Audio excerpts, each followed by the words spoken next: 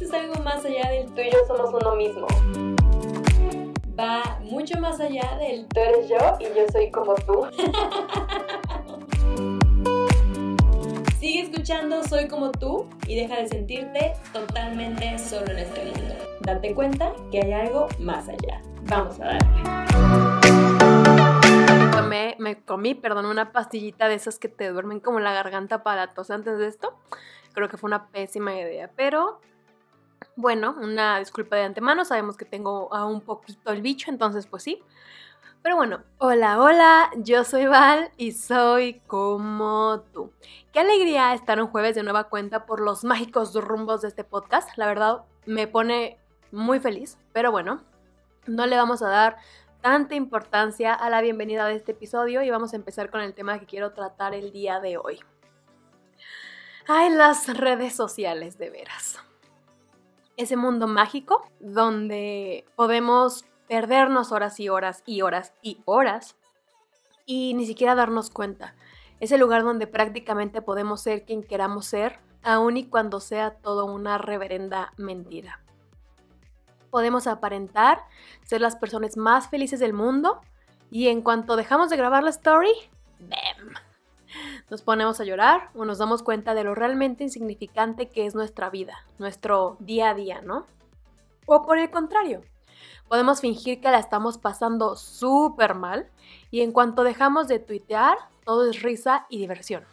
¿Por qué hacemos eso? ¿Por qué somos así? A mí me gusta pensar que la gente que miente constantemente en redes sociales tiene severos problemas de autoestima y constantemente busca llamar la atención del modo que sea, sea bueno o sea malo. Pero bueno, hoy específicamente no vengo a hablar de cómo es que mentimos tanto en redes, ¿no? Porque según yo, según yo en mi mala memoria, de esto ya medio hablé en algún episodio de este podcast. De ser así lo voy a dejar, eh, si me estás viendo en YouTube, pues lo voy a dejar allá abajo en la cajita feliz y si no, pues búscalo, no creo que sea tan difícil encontrarlo, la verdad. Pero bueno, no vamos a volver a tocar ese tema, al menos no por ahora.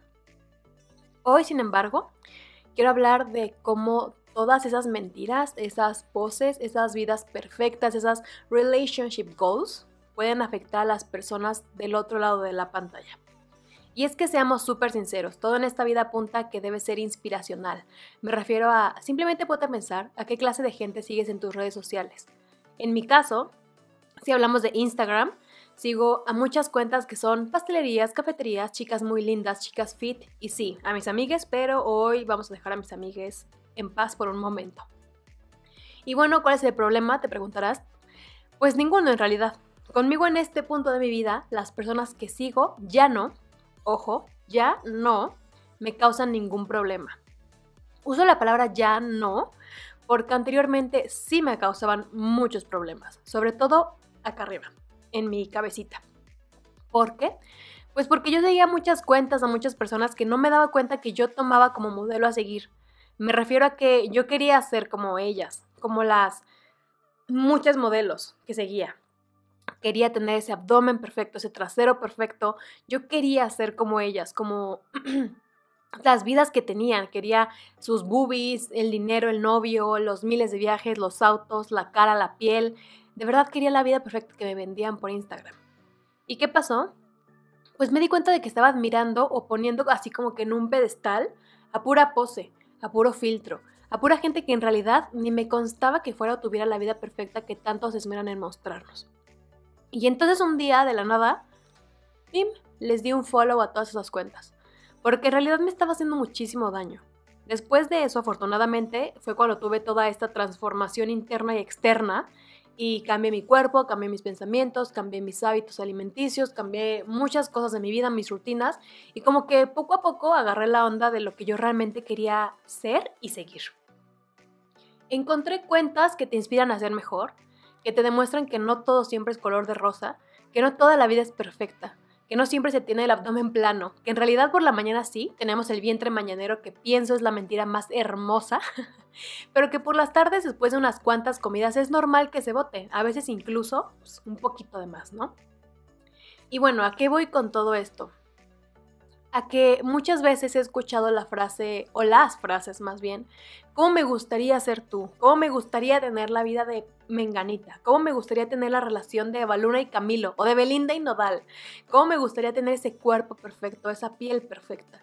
Y dicen todo esto porque obviamente en redes sociales todos, o bueno, casi todos, siempre vamos a mostrar la mejor parte de nuestro día, lo mejor de nuestra vida el momento más feliz con nuestras parejas, lo más divertido de nuestras salidas con nuestros amigues, la foto más aesthetic de nuestro entorno o incluso hasta de lo que estamos comiendo. Y rara vez o nunca vamos a mostrar cuando nos estamos peleando con el novio o con la novia, cuando estamos malacopiando en la peda, cuando nuestra comida se ve bien fea o supo del asco, o que tuvimos un día de la chingada. Eso jamás lo vamos a hacer, o casi nunca. Y es comprensible porque, pues, porque habríamos de hacer eso, ¿no? Todos queremos ser un ejemplo a seguir, todos queremos que nos tomen como inspiración. ¿O me equivoco? Entonces, yo lo que les propongo es lo siguiente. Analicen muy detenidamente a todas las cuentas que siguen. ¿Qué clase de personas son? ¿Qué clase de vida llevan? ¿Qué tantos filtros usan? ¿Qué tanto realmente los motivan a ser mejor persona y no solo a consumir un millón de productos? O a tener el cuerpo perfecto. ¿Qué tan machistas son? ¿Qué tanto se preocupan por su país, por su gente, por su familia, hasta por su pareja y su mascota? O sus mascotas, pues. ¿Cómo se expresa?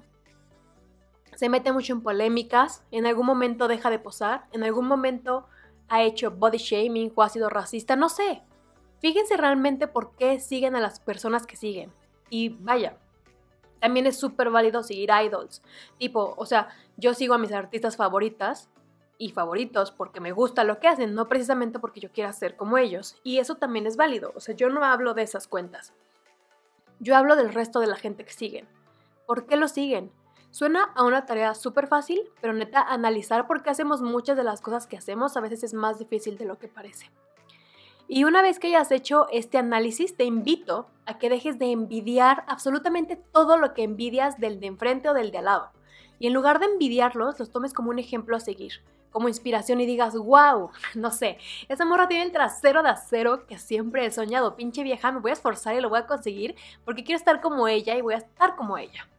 Y no en su lugar digas, pinche vieja, de seguro lo tiene operado, de seguro así nació, yo nunca estaré así, neta no tengo dinero para ir al gimnasio o no tengo fuerza de voluntad para hacer ejercicio en casa, no. O sea, neta deja de envidiar y de tirar como mala, mala vibra y aprende a admirar. De verdad, aprende a admirar pero solo si son personas reales, si son personas que merecen la pena ser tu ejemplo a seguir. Esa es mi opinión. Por ejemplo, en mi caso, yo busco siempre generar un cambio y transmitir mediante mi contenido buena vibra, positivismo, amor propio y que está bien ser como eres. Digo, espero que se note porque, porque esa siempre es mi meta. Alguna vez un amigo me dijo que para generar más gente siguiéndote había que parecer y no ser. Pero no es lo mío. Yo soy. Y a veces estoy feliz y a veces no. Y a veces les comparto lo feo de mi día y a veces les comparto lo mejor. Pero siempre trato de ser transparente. Porque siento que pierdo más yo siendo alguien que no soy que ustedes siguiendo a alguien falso. A final de cuentas puede que si yo no fuera 100% quien digo ser, ustedes nunca se darían cuenta. Pero pues no se trata de eso. Al menos no en mi caso, ¿no? No olvides que las redes sociales te venden realidades editadas con un millón de filtros y no siempre son verdad. So, para concluir, así como luego le haces limpia a tu closet, en tu refri o a tu librero o a tu vida, haz una limpia en tus redes sociales. Dale literalmente un follow a todas esas cuentas y personas que no te nutran, que no te aporten, que no sean honestas, que te muestren pura pose y te hagan tener pensamientos raros, porque, porque pasa, o sea, I've been there. Así que a mí no me puedes mentir y decir que eso es pura idea mía, porque no. Les juro que absolutamente todo lo que ven en redes sociales alimenta de un modo u otro tu mente. O sea, güey, es lo que consumimos diario. Así que manda la fregada todo lo que te haga tener pensamientos negativos. Consume contenido que te haga crecer, que te haga sentirte bien, que te inspire, que te motive, que te aliente a ser mejor persona, que te haga feliz. Entonces, pues sí. Este. Ay, no sé, me gustó mucho hablarles de esto. Hasta que llega el episodio del día de hoy. Si es la primera vez que me escuchas o me ves, entrate que los episodios de mi podcast no son lo más largo del mundo, porque vaya, soy yo solita hablando como un merolico frente al micrófono, cosa que amo. Pero pues eso a veces no me da como para extenderme tanto. Porque suele pasar que si continúo y continúo me dejo ir como hilito de media y pierdo como el sentido de la plática o del tema y pues eso es lo que menos quiero. Espero pronto tener invitados, obviamente, y que se arme así como que el cotorreo más largo y más a gusto con como pues con dos puntos de vista y tal, y pues ahí ya será otro rollo. Pero mientras, pues hasta aquí estoy a punto de concluir. De verdad, muchísimas gracias por abrazar tanto este podcast. Gracias por escucharme desde la plataforma que sea que me escuches, Spotify, Apple Podcast, Google Podcast, iBooks o bueno, ahora que ya también estoy aquí en YouTube.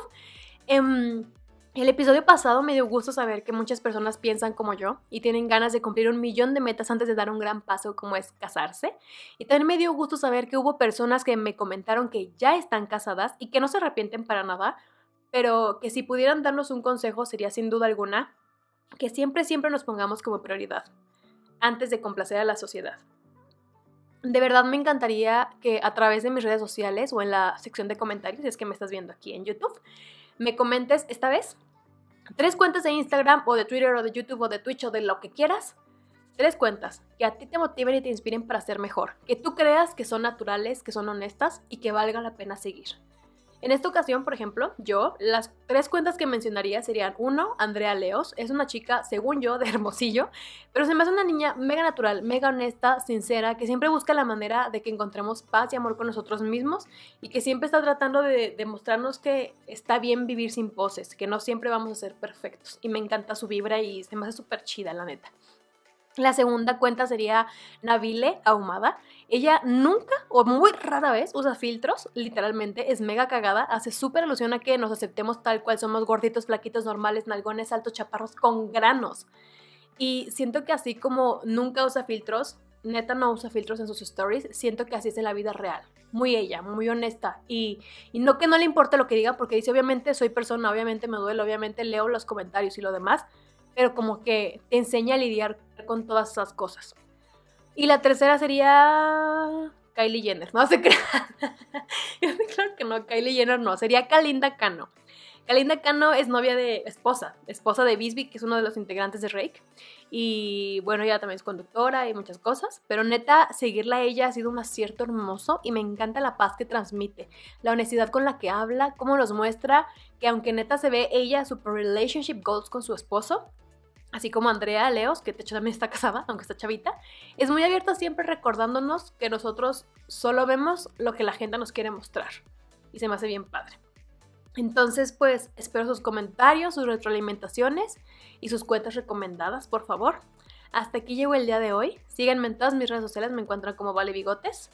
Y pues nada, les mando un súper abrazo. Gracias por este jueves de Platiquita conmigo. Nos escuchamos el próximo jueves. Yo soy Val y soy como tú. Bye bye.